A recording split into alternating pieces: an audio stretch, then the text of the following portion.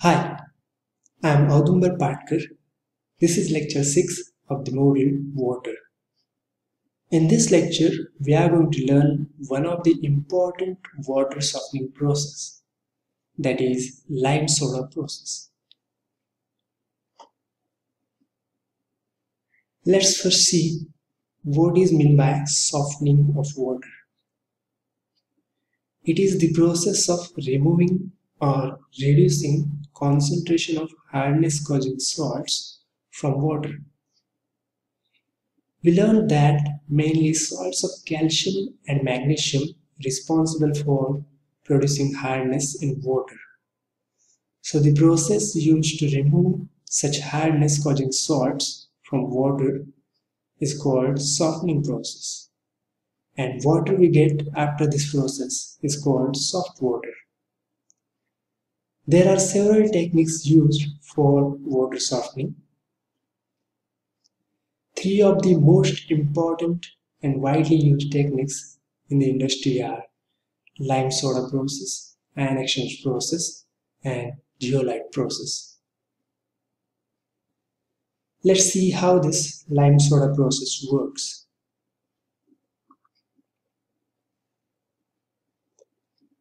In this process, Hard water is treated with calculated amount of slaked lime that is calcium hydroxide and soda ash that is sodium carbonate in a reaction tanks so as to convert hardness producing calcium and magnesium soluble salts into insoluble compounds. So one need to analyze the water first for its hardness and then calculate amount of lime and soda required to add to remove hardness. When you mix these chemicals with hard water in a reaction tank, soluble salts of calcium and magnesium get converted to insoluble salts or precipitate. And this precipitate can be easily removed by techniques like sedimentation or filtration to get soft water. Let's see actual chemistry behind this.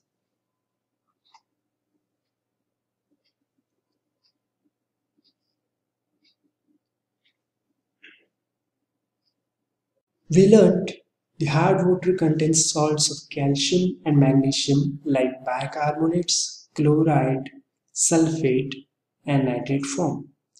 When such salts reacts with lime, that is calcium hydroxide, it produces insoluble uh, precipitate form of respective salt like carbonate or hydroxide.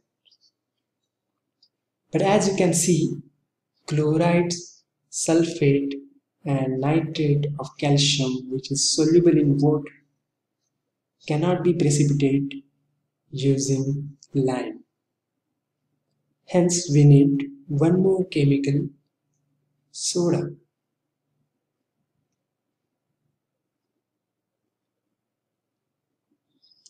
And this soda is nothing but sodium carbonate.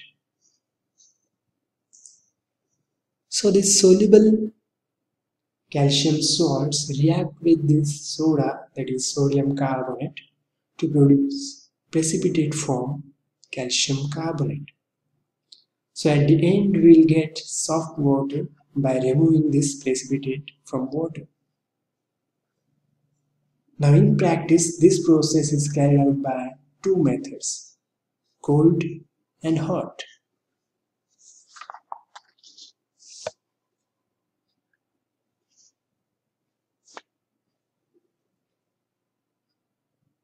So let's first talk about cold lime soda process. Here you can see the diagram of continuous cold lime soda softener. This is outer chamber with the outlet for sludge, wood fiber filter and outlet for soft water. This is inner vertical circular chamber this chamber is fitted with vertical shaft carrying number of paddles which can be rotated using a motor. As you can see, inlets for chemicals and raw water are also provided. This process is carried out at room temperature and hence called cold process. Raw water and calculated quantity of chemicals are fed from the top into inner vertical circular chamber fitted with vertical rotating shaft carrying a number of paddles.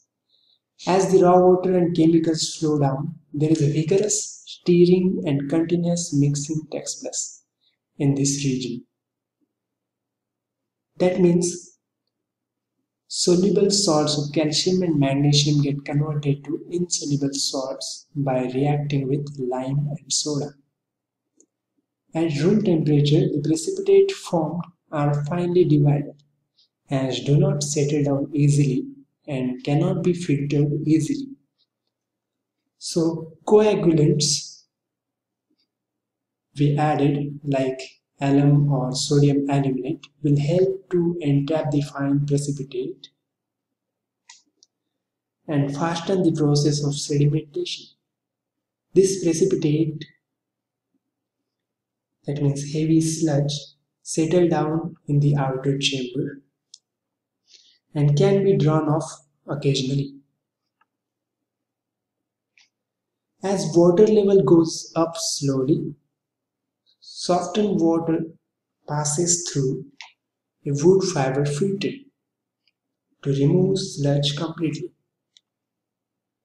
And through the outlet at the top, you'll get filtered soft water.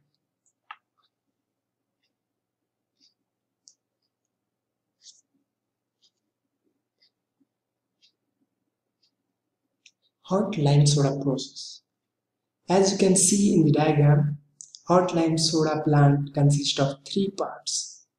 A reaction tank, conical sedimentation tank, and sand filter.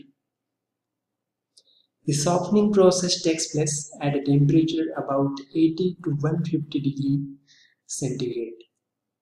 In a reaction tank, raw water and chemicals are heated by superheated steam at boiling temperature to mix thoroughly.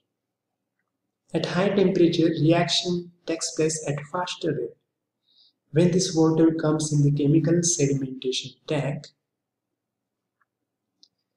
precipitate formed settle down rapidly and hence no coagulants like alum or sodium aluminate required. As viscosity of hot softened water is lower, filtration of water becomes much easier when water passes through sand filter. And finally, we'll get filtered soft water.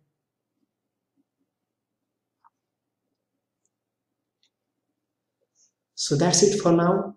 In next lecture, we'll solve some numericals on this process. Thank you.